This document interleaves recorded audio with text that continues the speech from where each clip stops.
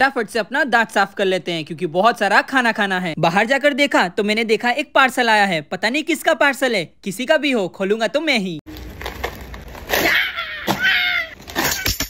देखने से तो लग रहा है कुछ बजाने वाला है लेकिन क्या है समझ नहीं आ रहा। हरे गोविंदा हरे गोपाला हरे गोपाला हरे गोविंदा। कैसे बजाना है? बजाओ।